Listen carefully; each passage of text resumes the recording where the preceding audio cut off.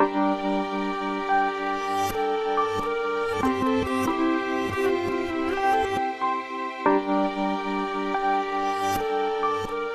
È un gruppo di, di, lampade che, da tavolo che si ispirano alle lanterne orientali, fatte in carta. È una tecnica millenaria, si chiama washi, che cerca la qualità nel diffusore luminoso. Da noi, proprio nell'area veneziana, si è sviluppata la cultura del vetro per l'illuminazione. È proprio l'incontro tra due mondi lontanissimi che in realtà hanno sviluppato su due materiali diversi lo stesso tipo di approccio qualitativo. Rituals, una luce calda e intensa, poi la vibrazione appunto della carta orientale. Questa incisione libera degli strati e quindi ad ognuna di queste righe corrisponde una diversa vibrazione e quindi la luce che passa dà un effetto grafico di chiari scuri che decorano la, la lampada rispetto ad altri oggetti che sono uh, fatti di vetro. La quantità di luce che emette è la stessa, quello che è diverso è il tipo di emozione che genera. Ti dà una luce vibrata emozionale, teatrale, diciamo, per dare questa sensazione di leggerezza. Nasce un treppiedi apparentemente molto semplice,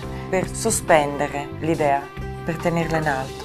L'idea era quella di tre forme che insieme disegnassero un unico oggetto.